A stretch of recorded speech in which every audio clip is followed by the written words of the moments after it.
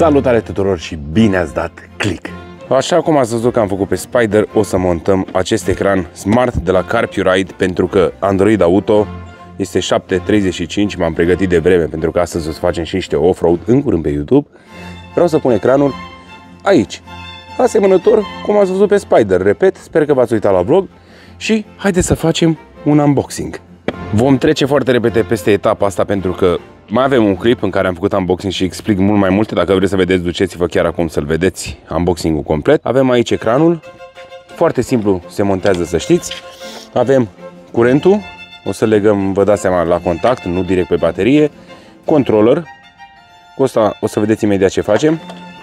Și cablajele pentru camerele față și spate. Spun asta pentru că, da fraților, de asta îl pun. Unul dintre motive este că avem camere. Pun una pe față, cea mai importantă pe spate, că nu avem oglinzi și ce zic. Dar și pe față, imaginați-vă să vedeți fix ce aveți în fața ATV-urilor atunci când ataci o rampă, cobori o pantă și așa mai departe. E rău că sunt singur, uitați, filmez cu o mână și cu cealaltă mână meșteresc. Ăsta e suportul care vine ecranul. By the way, aveți jos în descriere dacă vă interesează așa ceva și cu reducere. El vine cu acest suport. Eu am cumpărat altul, mai măricel, pentru că e mult mai mare ghidonul acesta decât cel de pe Spider și mă gândeam să-l montez așa. Ceva de genul ăsta, ecranul să vină pe mijloc și să nu-mi obstrucționeze ecranul original al ATV-ului și să stea frumos aici. E mișto la Android Auto că poți folosi aplicații de off-roading direct pe acest ecran, deși și acesta are Carbit Map. Hai să montăm câte puțin așa, ușurel, ușurel. Am montat suportul aici, tot ce mi-a trebuit a fost o cheie de 10 și îl montez înainte de toate pentru că vreau să mă asigur că îi găsesc poziția corectă ca să pot să trag firele pe aici către curent. Și ia vedeți aici că l-am montat, l-am montat provizoriu, am montat și camerele ca să vedeți despre ce este vorba, pentru că pititul, pititul firelor nu o să-l mai filmez, l-am filmat la Spider, este fix același lucru. Avem aici ecranul de întâmpinare, să spunem așa, cu acest ecran te întâmpină. Este waterproof, vedem cum se descurcă și pe nămoale, evident. Și avem așa, am pus controllerul aici, cu asta faci switch-ul dintre Android Auto și așa mai departe. Evident, ai toate aplicațiile aici. Și aici ai camerele, camera din față, camera din spate. Poți să mergi doar așa, cu camera din spate, full screen, sau cu camera din față, full screen. Uh, ai și Apple CarPlay, eu nu folosesc Apple, ai Android Auto, asta am, Galaxy S24 Ultra, ai audio, are card aici, poți să-ți bași tu ce vrei. Ce este interesant este că poți înregistra cu această jucărie și camera din față și camera din spate. Aici, rec, stopping record, deci înregistra. Ba mai mult poți să faci și poze, taking photo, le descarci de pe, pe telefon direct, te conectezi la aplicație, se pare că de aici. A, nu, aici e telefonul. Poți să și vorbești la, la telefon, desigur. Îl conectezi, conectezi această unitate la cască, la intercom. Poți să-l conectezi la boxă portabilă, dacă cumva vă puneți așa ceva pe ATV. Vă puneți frumos o boxă acolo sau unde vreți voi. Intrați pe Spotify, și dați play. Eu nu am momentan o boxă, dar știți că dețin una, nu mai este pe ATV. Acum hai să vă arăt din nou setările acestei, uh, acestui ecran. Avem Brightness, Assistive Touch, aici va apare un buton undeva, eu nu-l folosesc, Clear Connections, ca să resetez, să zicem așa, ecranul și Touch Mode, pentru că merge și pe ploaie, vedeți aici, Rainwater Mode sau Normal Mode. Eu îl simt pe Rainwater și pe Spider și pe ATV.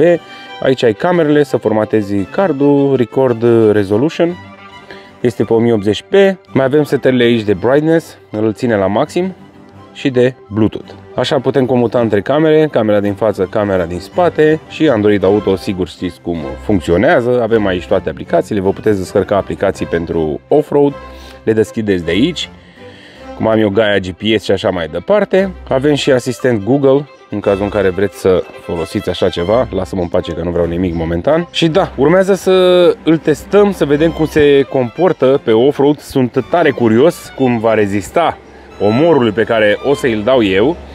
Și hai să ne uităm puțin cum o să facem cu firele. Deci firele, vedeți, sunt ieșite de aici toate și o să le pitesc pe aici. trag pe firele originale cu niște zip ties. Sunt legat la curent momentan pe direct, dar nu vom, fa- nu vom sta așa. Nu vă recomand pentru că ecranul ăsta, după cum vedeți, ATV este stins și el stă aprins. Trebuie legat pe, pe contact, să spunem așa. Pot să-l leg la priza asta de 12 V, la asta USB pe acolo prin spate. Rămâne de văzut cum facem și dacă vreți așa ceva, jos în descriere, dați și voi comandă sau așteptați să vedeți cum se comportă la mine. Deși, repet, eu l-am și pe Canam Spider, pe Canam Spiderul meu și am făcut de două ori trip în România cu el.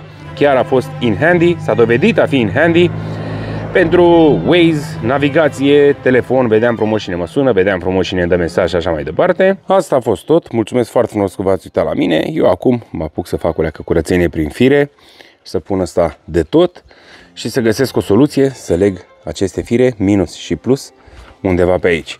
Până data viitoare, aveți grijă de voi, jos în descriere. Cius! Gata, fraților, câteva ore mai târziu s-a montat camera, s-a mufat frumos, s-a ascuns, am pus cameră și pe față, desigur. Le-am și testat, sunt awesome. Uitați-o aici, pitită. Trebuie, te mai am de umblat la ele, vă dați seama. Ecranul îl mai am de centrat, dar le-am testat. Haideți să găsim un loc cu umbră să vă arăt și vouă cât de mișto sunt. Let's go! Haideți că am găsit o mult spus umbră, dar este ok cât de cât se vede. Aceasta este camera din spate. Aici le putem vedea pe amândouă când atacăm, uh, când urcăm, când coborâm uh, gropii și așa mai departe.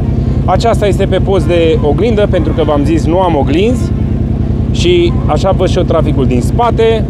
Și în continuare, după cum v-am zis, avem uh, Android Auto, avem tot ce ne dorim cu o singură apăsare de buton pentru că am pus controllerul aici, deși acesta este full touchscreen. Uh, am zis că poate, nu știu, poate să umple ăsta de nămol sau știu eu. Așa, mai departe, am, am făcut setările, l-am dat la maxim și chiar o să înregistrez pentru că aceste camere pot fi folosite și pe post de dashcam. Adică în cazul unei, Doamne ferește, tamponări, aveți înregistrare aici. Este foarte, foarte mișto. Vă mulțumesc frumos pentru că a stat până la final de clip. După cum vedeți, acum ați văzut și cum arată. De-abia aștept să-i dăm umor. Let's go! Acum vreau să montez microfonul acolo la evacuare și o să vă las cu sunetul acestui ATV, sunetul evacuării, în timp ce facem outro-ul. Bine, outro l-am făcut deja. V-am pupat!